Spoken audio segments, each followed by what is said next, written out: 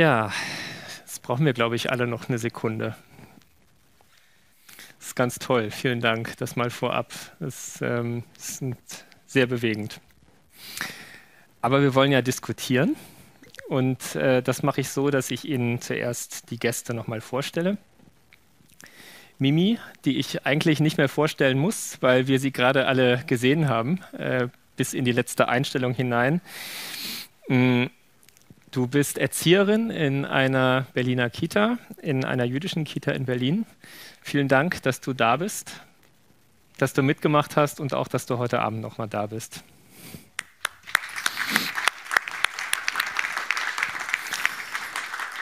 Jael, Jael Reoveni, äh, brauche ich auch nicht vorstellen, mache ich trotzdem, weil es so üblich ist. Du bist die Regisseurin der Serie.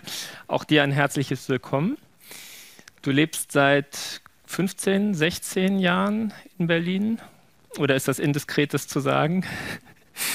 ähm, ich sage jedenfalls nichts über deine Kindheit, weil über deine Kindheit und Jugend in Israel kann man gerade sehr viel in einem Dokumentarfilm äh, erfahren, der gerade in den Kinos läuft, ähm, der Kinder der Hoffnung heißt. Es ist dein neuester Film und ich kann alle nur einladen, äh, die Gelegenheit zu nutzen und solange er in den Kinos trotz Pandemiebedingungen noch zu sehen ist, ihn zu sehen.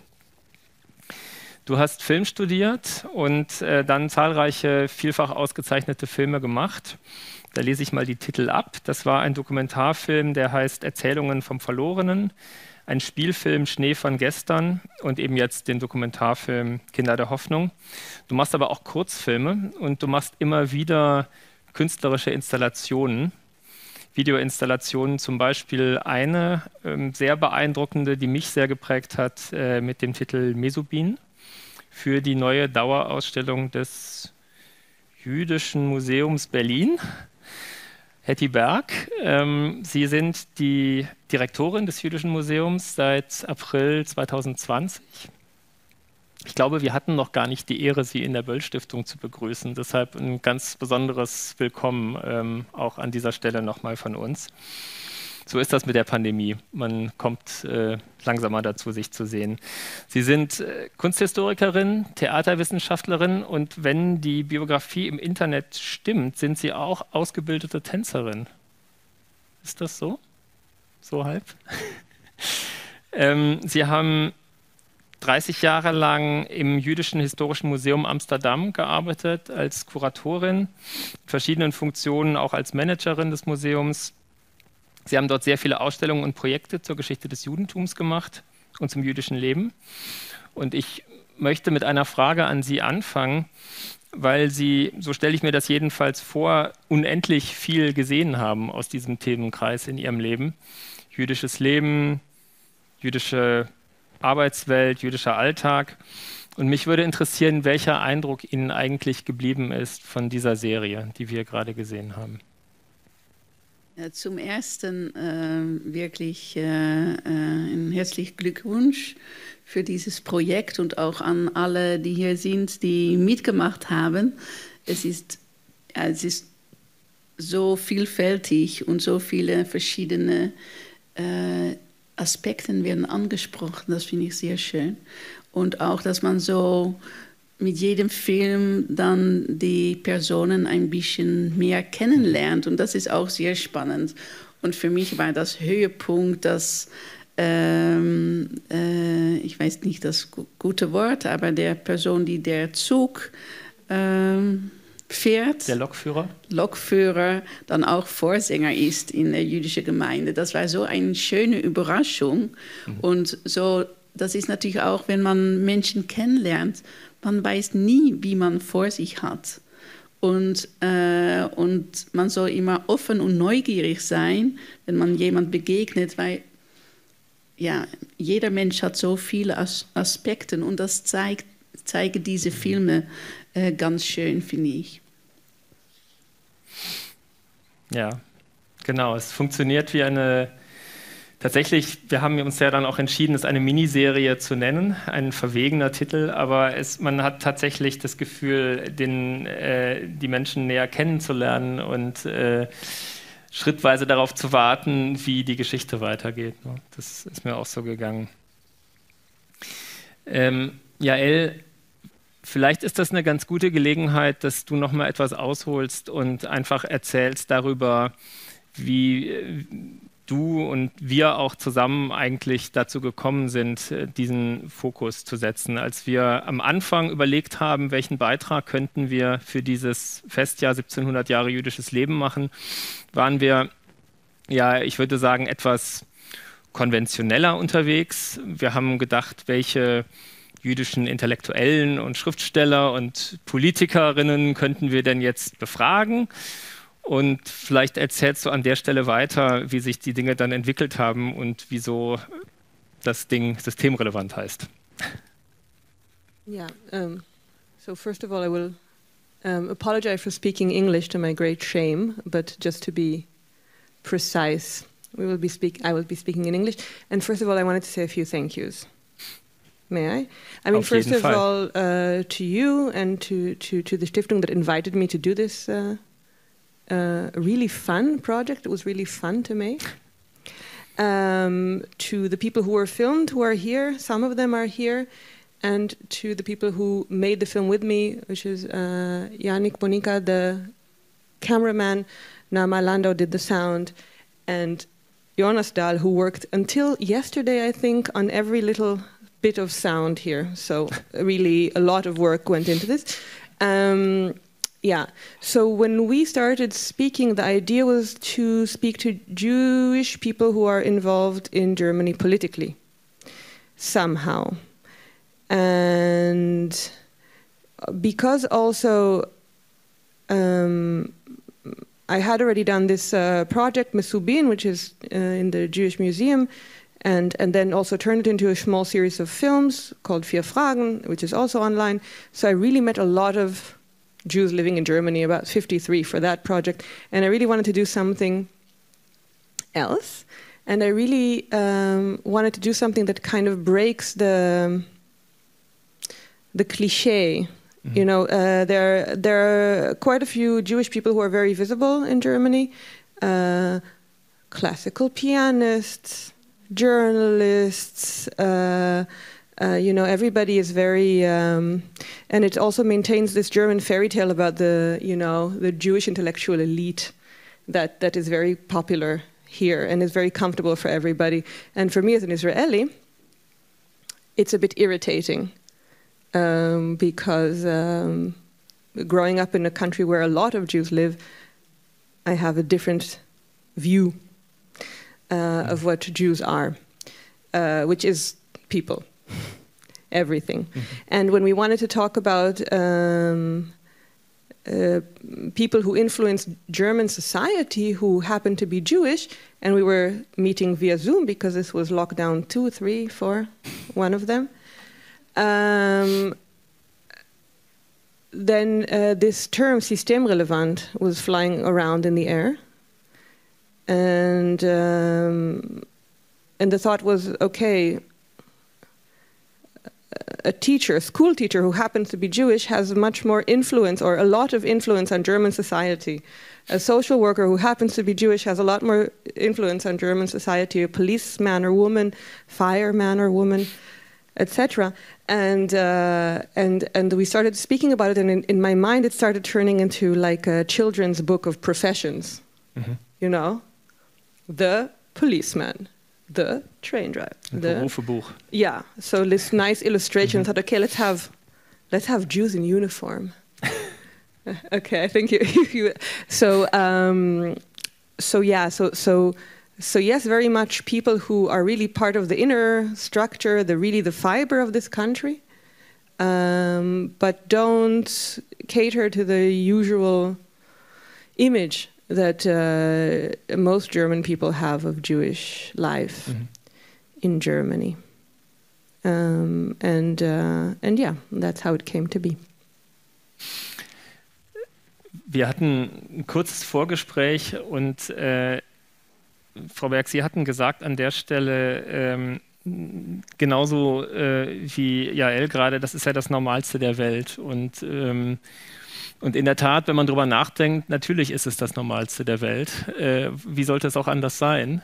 Und doch scheint es, äh, das äh, hat Silvia Lörmann auch gerade in ihrem Grußwort äh, nochmal gesagt, irgendwie für die deutsche Gesellschaft was Neues zu sein, jüdischen Alltag und äh, eben äh, die Jüdinnen und Juden, die wir gerade gesehen haben, in ihrem Alltag äh, mit großer Selbstverständlichkeit zu sehen.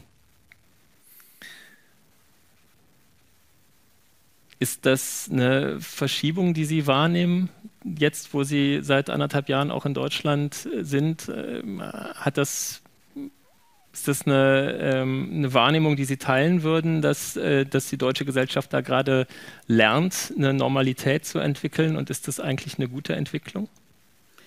Ähm, das ist sicher eine gute Entwicklung und das wäre noch eine bessere Entwicklung, wenn es nur selbstverständlich ist.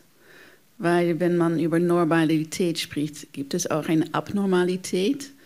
Äh, so, das ist natürlich schon, ich würde niemals sagen, ist normal, es sollte selbstverständlich sein. Und mhm. äh, das ist auch äh, in, in das Jüdische Museum Berlin, da gibt es eine neue Dauerausstellung seit letztem Jahr.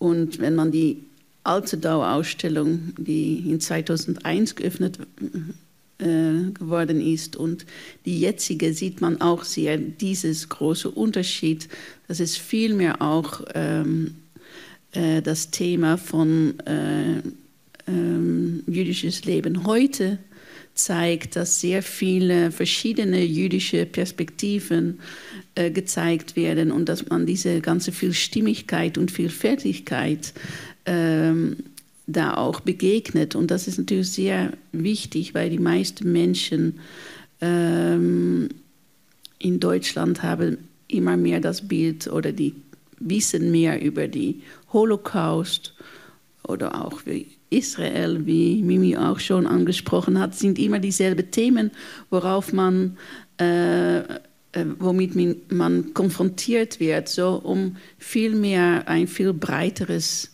äh, Perspektiv zu geben und auch all diese verschiedenen äh, Juden und Jüdinnen zu zeigen, die ja, die, wie hier in die Filme, diese ganze Vielfalt, das ist ja unheimlich wichtig.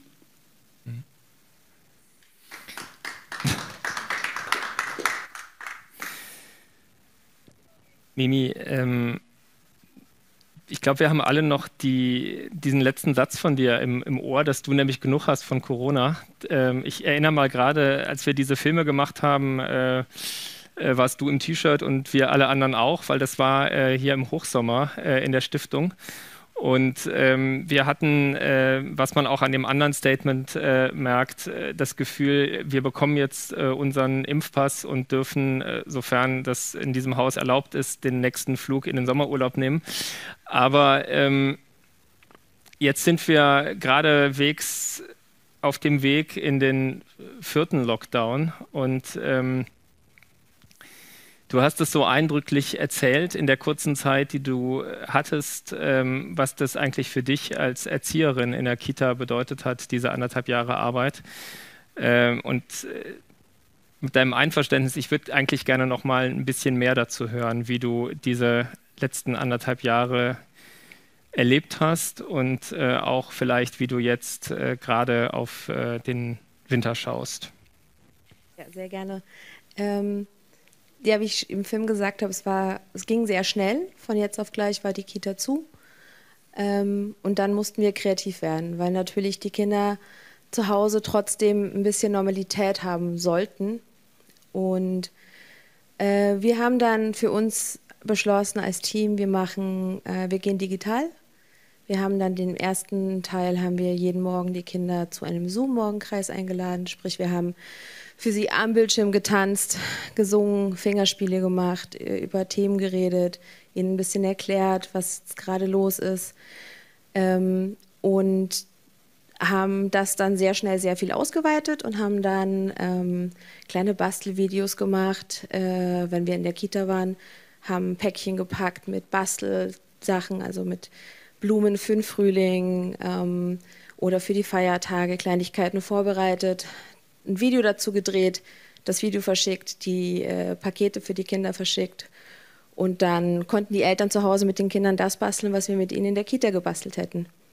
Ähm, das haben wir dann weiter ausgeweitet und ausgeweitet, bis wir irgendwann einen ähm, kleinen äh, Lesekreis hatten, wo ich dann einmal die Woche mit den, für die Kinder mehrere Bücher vorgelesen habe. Das war am Anfang gut besucht und irgendwann hatten die Kinder auch keine Lust mehr auf Zoom. Mhm. Und dann wurde es immer weniger und weniger und dann konnten wir auch wieder zurück in die Kita. Erst mit sehr wenigen Kindern.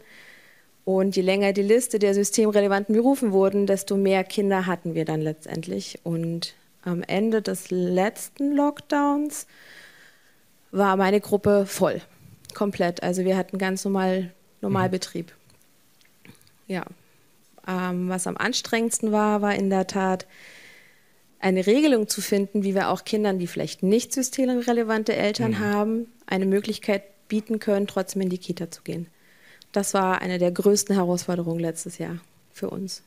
Kannst du eigentlich was anfangen mit dem Begriff systemrelevant? Hast du für dich den Eindruck, der, du erfährst dadurch äh, eine Wertschätzung, die du vorher nicht hattest? Oder erlebst du das eher, so wie du es jetzt gerade gestellt hast, Wege finden, um nicht systemrelevante Kinder, was auch immer das sein mag, äh, sagen, in die Kita zu bekommen?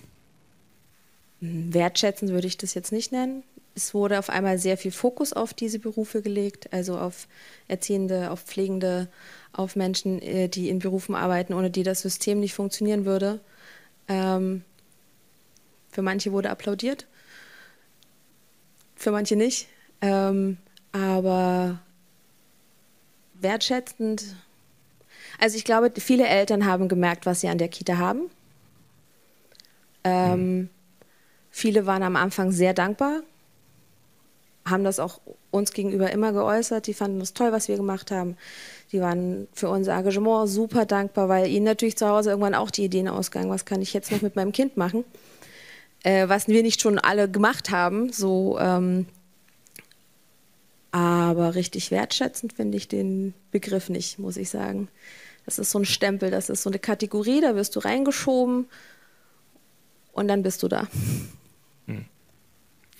Eine Sache, die mir aufgefallen ist, äh, was euch äh, acht mit denen äh, dieses Projekt dann gelaufen ist, wirklich vereint, außer der Tatsache, dass ihr Jüdinnen und Juden seid, die in Deutschland leben, was ja auch oft man ehrlich gesagt vergisst über weite Strecken der Filme. Dann kommt es wieder auf und dann ist es auch wieder weg. Das finde ich sehr schön daran.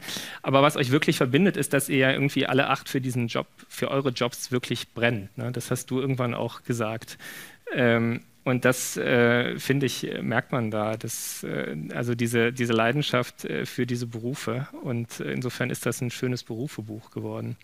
Aber vielleicht, Jael, hast du noch eine andere, ähm, eine andere Sache, die dir hängen geblieben ist. Ähm, du hast ja auch schon wirklich viele Projekte jetzt ähm, über jüdisches Leben gemacht, äh, auch jüdisches Leben in Deutschland. Ich nehme an, du hast äh, einige Leute, die dir auch immer wieder begegnet sind und äh, vielleicht äh, möchtest du auch mal ein anderes Thema aufgreifen, weiß ich nicht, kannst du uns ja nachher verraten. Aber ähm, jetzt gibt es was, was äh, du gelernt hast und mitgenommen hast aus dieser Arbeit? Um, ähm, I think uh, I or we got very lucky with these eight people who we filmed who really have somehow, I think everybody here has something to say and also, you know, from a filmic point of view, a really cinematic uh, presence somehow. Mm. Uh, and also as a, like a rainbow of people, um, it's a nice picture that there, there's kind of a, an arch there. Um, for me, and it was of course very nice for me to do something because documentary films take years to make like the film that's now in the cinemas took i don't know six or seven years to make and to do something that reacts to this corona craziness immediately now was really a luxury mm. as a filmmaker um, but what for me really was uh, interesting for me is because when we made Mesubin in 2018 um, and we were looking for people to interview it was much easier for example this question of uh, if to use names or not was mm-hmm. only relevant with children then. Mm-hmm. And I think something in the atmosphere in Germany changed. Um, the discussion about anti Semitism somehow changed. Um, was, was, hat sich was hat sich verändert nach deiner Wahrnehmung? I mean, there are two things. There's one thing that things actually happened, like Halle is mentioned here. Um, but also, I think the discussion, the, the talk about uh, the, the, way these issues are discussed in Germany, the word anti Semitism is much more in the media than it was when I first came here 15 or 16 years ago, but also three or four years ago. Um, um, there's um, a talk you also said about, you know, it's always Jewish life and mm-hmm. anti Semitism. Mm-hmm. And somehow uh, uh, the word is very present, and and um, and of course, anti-Semitism was always here. Uh, sometimes more visible, sometimes less. Uh, so something in the way that people see themselves and their fear and their awareness of what can happen, I think, grew a lot in these uh, and and and since it became a, a, a, topic when we were talking when I was talking to to potential protagonists I thought it would be nice to put it in the film mm-hmm. the films themselves uh, this question of do I out myself as Jewish do I feel safe to even participate in this project uh, will I use my name um, uh, there was also a debate about blurring faces, for mm-hmm. And uh, really, uh, three years ago, the discussions were not even close to there. So, so it also taught me something about what changed in the German society in between. Mimi, kannst du damit was anfangen? Hat sich für dich was verändert? Du sagst äh, an der einen Stelle im Film, äh, du ähm, möchtest in der Party oft äh, also inkognito durchgehen. Du bist es ein bisschen leid, dich erklären zu müssen für Dinge, die vielleicht gar nicht so viel äh, mit deinem Leben zu tun haben. Ist es was, das, äh, also Jaels letztes Projekt, von wann ist das ähm, äh, Mesobin? Du meintest das Projekt vorher auch, ne? Da, drei Jahre ungefähr dazwischen oder vier Jahre? We were shooting uh, in 2018, and mm-hmm. it came out when the museum could open in 2020 okay. uh, in yeah. the summer. Ähm, nee, es hat sich nicht so viel geändert für mich. Also ich war schon immer relativ vorsichtig, weil ich äh, auch schon in der, meiner Jugend sehr mit Antisemitismus konfrontiert wurde. Und da konnte ich mich nicht verstecken, mhm. ähm, weil meine Familie relativ bekannt war dort, wo ich herkam. Ähm, und das habe ich an Berlin und das genieße ich immer noch an Berlin sehr stark, dass man hier einfach anonym sein kann. Man kann das sein, was man möchte. Ähm, und gerade wenn es um Religion geht, kann man das auch gut verbergen, mhm. aber man kann es genauso gut zeigen. Ähm, und das ist etwas, was ich sehr genieße hier. Also ich kann mit meinem Magenta David rausgehen, ich kann es nicht machen und das ist dann, ich finde es schön, dass ich das hier so entscheiden kann, weil in meiner Heimatstadt konnte ich das nicht entscheiden. Da war ich bekannt. Da wusste man, dass ich jüdisch bin. Du hast das in einem Gespräch, das fällt mir gerade ein, Jael, du hast, äh, wir, wir haben einen E-Mail-Austausch gehabt mit Tamara Ohr, die uns tatsächlich sehr geholfen hat in dem Projekt. Und du hast gesagt, äh, das ist eigentlich schön, wenn man äh, den Luxus hat, seine Identität zeigen zu können oder auch dahinter zu verschwinden. Ne? Was die Israeli im, im, im Film auch sagt, äh, sagen, manchmal möchte man einfach ein weißes, ein weißes Blatt sein. Hm. Um, yeah. Aber ja. Uh, yeah, I think uh, it's it's not about for me not about. Uh, I mean, I have the problem or the luxury that I'm Israeli, so uh, people assume I'm Jewish, so I can't uh, Hmm. I never need to. I usually don't need to choose if I tell or don't tell. Um, and I also didn't grow up here, so. But um, but I think so. For me, it's not about hiding, but it's rather about. I mean, like all different identities that we have, we don't have to live them out to the same extent at every point. It's okay if it's sometimes, in, you know, many, many things. Uh, Jewish is only one of them. Israeli is only one of them. Um, and uh, the like Jewish identity in Germany is so dominant to the good and the bad um, that that it's uh, really a relief that uh, you know there are certain films here where the word Jewish is not, so if you would only watch I don't know uh, the film about the last one where people mm-hmm. are talking about Corona there's you would never even know that these people are Jewish. It's not even discussed. So so it's nice that it can be also dropped in the back and then come back to the front this uh, freedom is something that I, I wish for also in, in society here. Ja. Mhm. Genau, es ist ja in erster Linie auch ein Projekt über, über Arbeit. Mhm. Also ne, Berufe und, und Arbeit. Das ähm, finde ich auch ganz schön. Frau Berg, ich wollte noch einmal ähm, anknüpfen an der, an der Arbeit von, von Yael Reuveni, weil sie ja ähm, auch im Jüdischen Museum mit äh, dieser äh, Arbeit Mesobin vertreten ist. Ähm, und äh, fragen, ob für Sie da äh, welche Geschichte da äh, zwischenzusehen ist. Also ob Sie eine, eine Entwicklung einfach auch in, in Jaels Werk äh, sehen in der Auseinandersetzung mit äh, jüdischem Leben in Deutschland, ob Ihnen da was aufgefallen ist. Ja, wir haben in, in Musulbin und wie Reofen gesagt hat, auch äh, diese vier Filme auf dem Website. So, da kann man auch da äh, zu Hause ganz einfach sehen. Und wir haben auch den JMB-App. Da kann man auch Teile von Musubin sehen. Äh, das äh, soll jeder machen natürlich, äh, weil es ist wirklich, es ist eine der, der Favorite äh, Teile dieser neue Dauerausstellung. Wenn ich Menschen frage, was, was hat ihnen gefallen, sagen sie immer alle Mesubin. So einen ganz großen Dank äh, an dir, Jael. Äh, und da ist es auch, weil äh, man all diese so 53 Juden Judinnen in Deutschland äh, und auch andere Gender als Juden und Jüdinnen ähm, sieht in diesem Film und ähm, äh,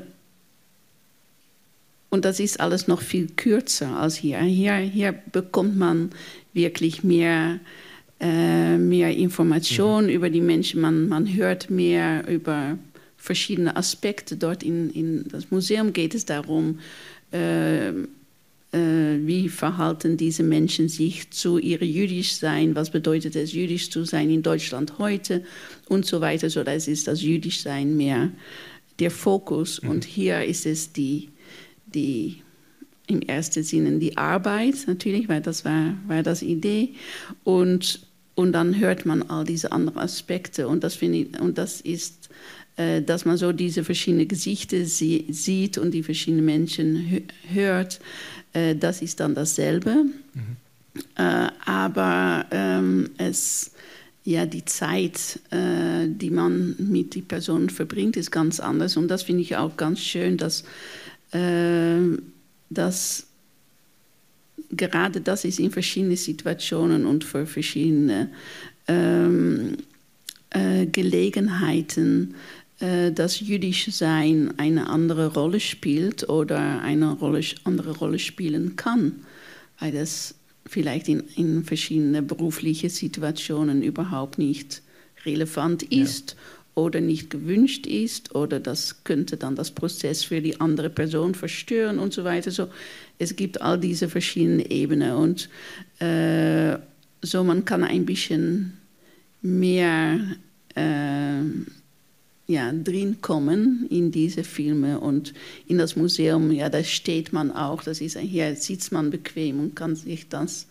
diese sechs Filme alle hintereinander angucken und dort ist es mehr dieser Ausklang der, der Ausstellung, wo man so ganz, ganz viele äh, Eindrücke bekommt. Und das gibt so einen, einen schönen Geschmack von, was das jüdische Le diese verschiedenen Lebens in Deutschland sind. Mhm. Ähm, du hast es vorhin schon erwähnt, Jael, aber vielleicht sagst du noch mal einen Satz dazu, wie man, äh, wie du die äh, acht eigentlich gefunden hast. Da haben wir noch nicht drüber gesprochen, denn ähm, zu den Besonderheiten in äh, Deutschland gehört ja, dass man aus gutem Grund nicht ein Unternehmen anrufen kann und darum bittet, die Liste der jüdischen Mitarbeiterinnen äh, vorzulegen. Ja. Ähm, und äh, trotzdem ist es ja gelungen. Und es war ja nicht immer einfach. Äh, vielleicht willst du dazu noch was sagen. It was quite, uh, quite an, um, an experience.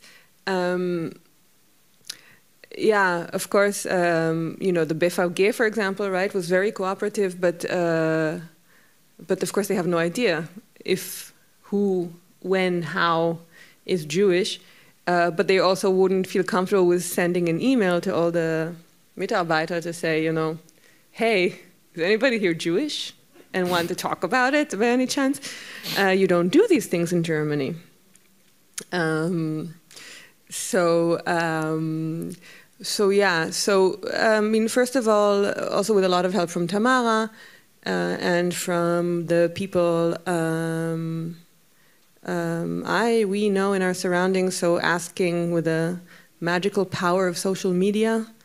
Um, and um, and also my my secret uh, my my uh, professional secret, which is a a, a beautiful column, it? yeah, a beautiful column in the Jüdische Allgemeine Zeitung called Portrait der Woche, and I am I think their most trusty reader.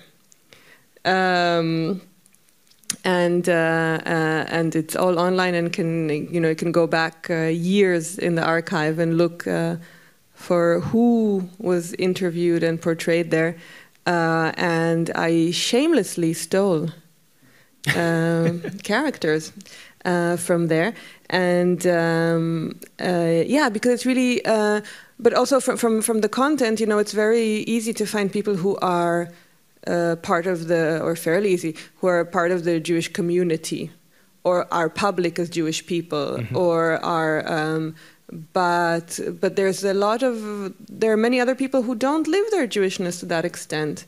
Uh, I mean, Mimi, for example, you know, works in a Jewish kita. That's that's something that is, um, you know, that's one way that you know Judaism is very pr- uh, present. But for example, for the policeman, it's something that is completely in his background. Mm-hmm. It's not something that his colleagues even know about.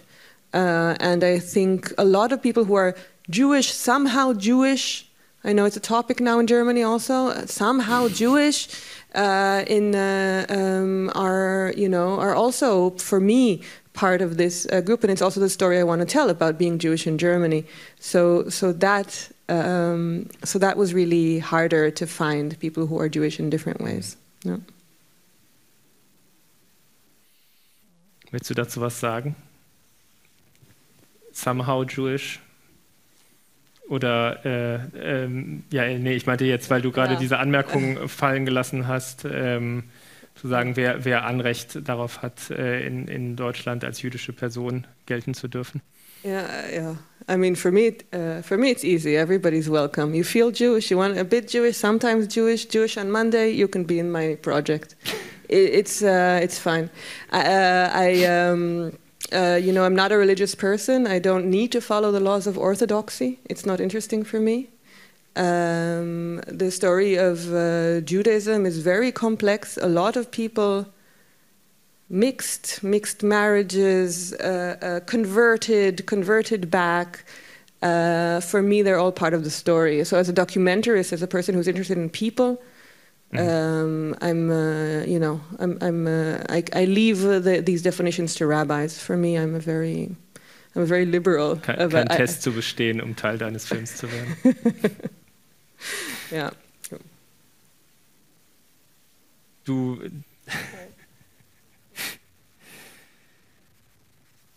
ja. Ähm. Vielleicht greifen wir diese Frage von vorhin nochmal auf, Frau Berg. Ähm, Sie sind jetzt seit anderthalb Jahren ähm, im Jüdischen Museum Berlin. Ähm, mich würde interessieren, wir sprechen jetzt gerade schon ein bisschen darüber, wie wird jüdisches Leben in Deutschland eigentlich thematisiert? Wer darf über wen sprechen? Worüber wird gesprochen? Ähm, Sie haben gerade schon gesagt, da hat sich was verändert zwischen der ersten Ausstellung, der ersten Dauerausstellung des Jüdischen Museums und der aktuellen Dauerausstellung. Es geht mehr um Alltag, es geht mehr um jüdisches Leben in Deutschland. Ähm, wie gehen Sie denn mit Alltagsgeschichte um? Ist das was, das ähm, Sie auch in Ihrer kuratorischen Praxis begleitet hat und das Sie auch äh, stark machen wollen, etwa im, im Sinne dieser Archäologie oder wie auch immer man es nennen will, äh, Ethnographie des, des, jüdischen Lebens? Ich denke, dass es ähm, auch in, in das Museum in Amsterdam, das mhm.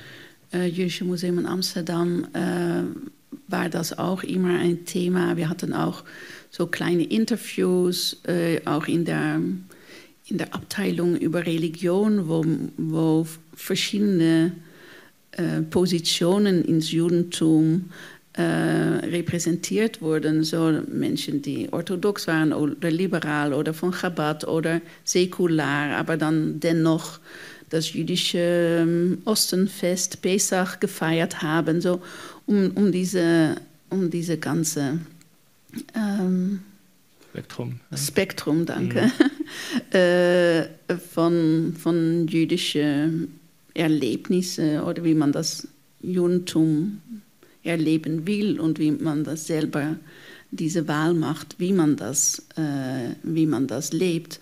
Ähm, das haben wir dort auch, ge auch gezeigt und auch es gab auch einmal ein Projekt äh, Jung und Jüdisch.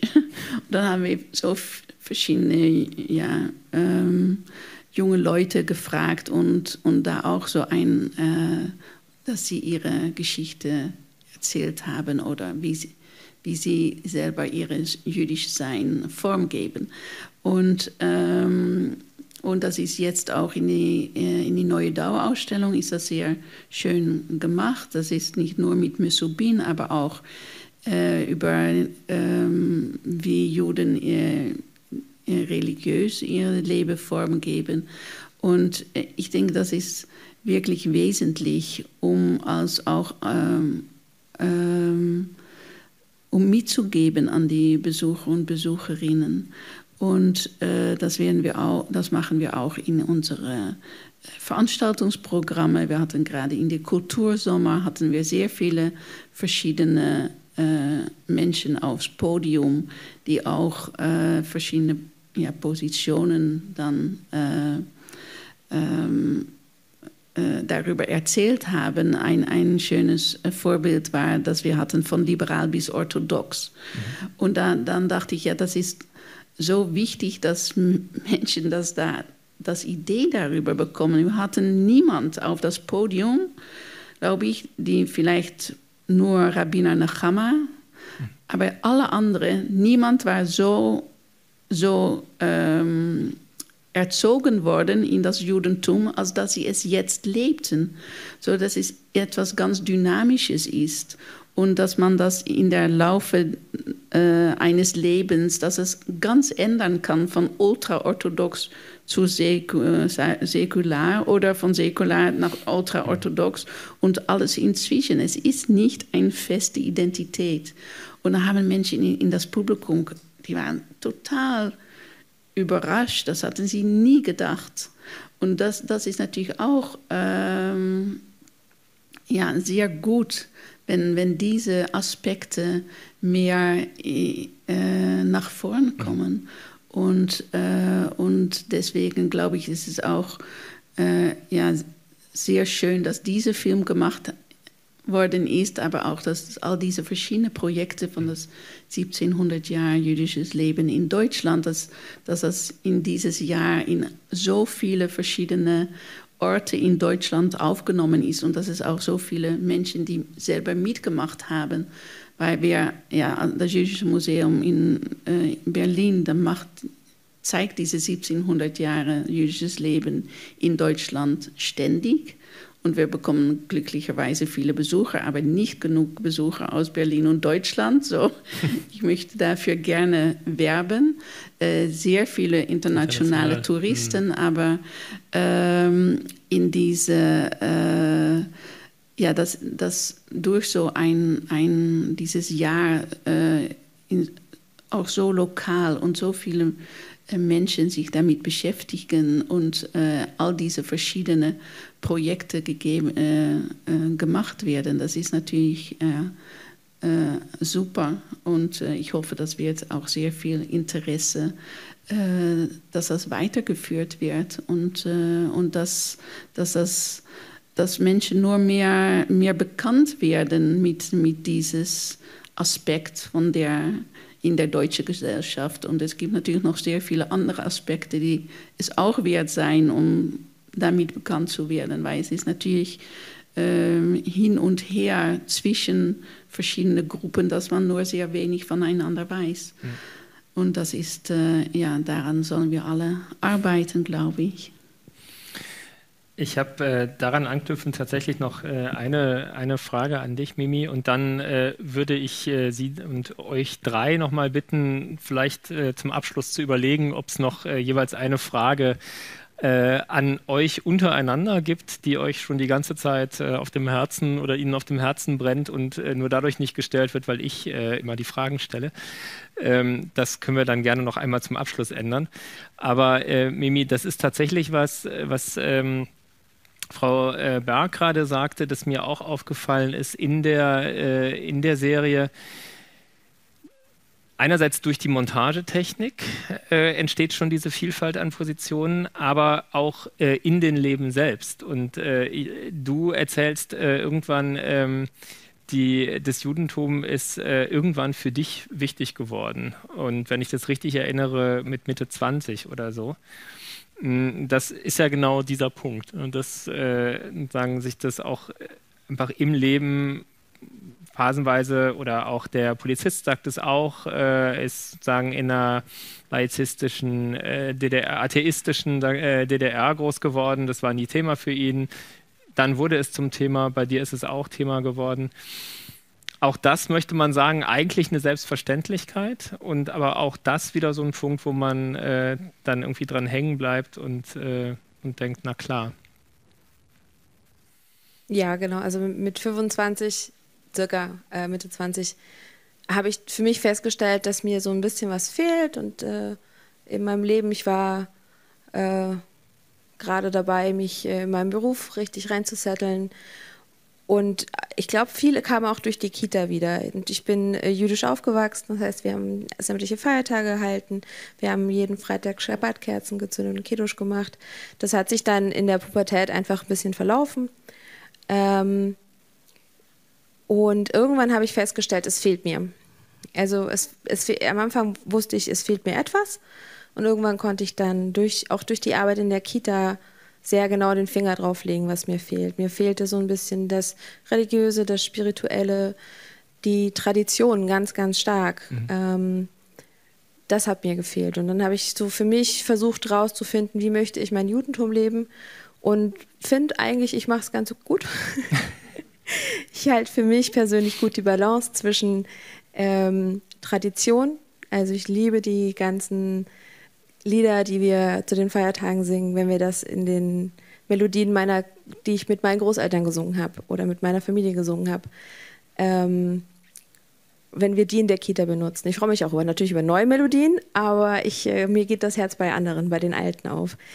Ähm, und ja, irgendwie, ich, äh, ich habe auch im Film gesagt, ich halte nicht alle Feiertage immer gleich, aber so jetzt gerade freue ich mich unfassbar auf Hanukkah in der Kita. Es ist ganz viel Gewusel und Gebastel und Gesinge und irgendwie freuen sich, glaube ich, alle Erzieher und Erzieherinnen sehr jetzt auf die Zeit. Ähm, und tauschen sich aus. Was macht ihr? Was bastelt ihr? Was, was, was, was macht ihr dieses Jahr? Was macht ihr für die Eltern? Die dürfen ja nicht rein zur Party. Wie machen wir das? Das macht super viel Spaß. Und ich glaube, ganz viel hat mir da in der Tat durch die Kita, hat mich wieder zurückgebracht mhm. zu dem, wie ich es mein Judentum jetzt gerade lebe. Und äh, ja, ich mache es gerne. Ist schön so. Cool. Habt ihr eine Frage aneinander?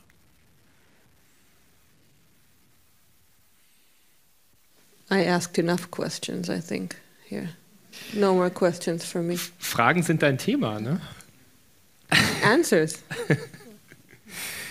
Gut, dann können wir es auch an der Stelle vielleicht bewenden lassen, ähm, wissend, dass die meisten uns ja auch äh, sowieso über Zoom zugucken und dass die Aufmerksamkeitsspanne bei diesen digitalen Veranstaltungen leider beschränkt ist. Ich kenne das aus äh, eigener Anschauung nach langer Pandemie.